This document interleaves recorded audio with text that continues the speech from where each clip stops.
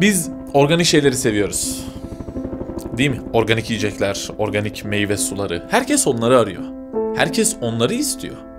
Kendisi için, çocuğu için vesaire. İşte organik süt, organik bal, organik portakal, organik, organik. Ne bu organik? Organikten kastettiğimiz şey aslında şu. İnsan müdahalesinin bulaşmamış olması. Bu kadar. Özlemini duyduğumuz şey bu. Mümkün olduğu kadar insan iradesine uğramadan gelen şeyler. İnsan müdahalesinden özgür kalabilenler.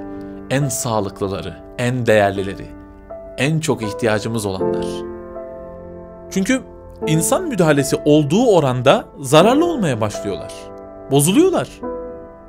Dış görünüşü çok cazip de olsa, bazen işleri çok kolaylaştırsa ve hızlandırsa da aslında zehirliyorlar. Sağlığımızı tehdit etmeye başlıyorlar. Peki ya bu bizim düşünce sistemlerimiz, bakış açılarımız, paradigmalarımız için de geçerliyse? Evrenle muhatap oluş metodumuz mesela. Evrene, maddeye, işte DNA'ya, bitkiye vesaire. Yani gözlemlerimize, bakış açımız. Onlarla muhatap olurken ki vizyonumuz. Kim belirliyor onları? Kurallarını kim koymuş? Kim müdahale etmiş? Organikler mi? Sağlıklılar mı? İnsan müdahalesinin her olduğu yerdeki problemliliği göre göre hala bunu nasıl sorgulamayız? Riske attığımız şey belki çok büyüktür. Endüstriyel bir gıdanın organizmamızı kanser yapıp öldürmesinden çok çok daha büyüktür belki.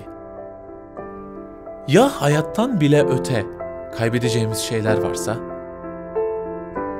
Belki her şeyden çok organik bir paradigmaya ihtiyaç duyuyoruzdur. Organik bir bilime, özgür bir akla.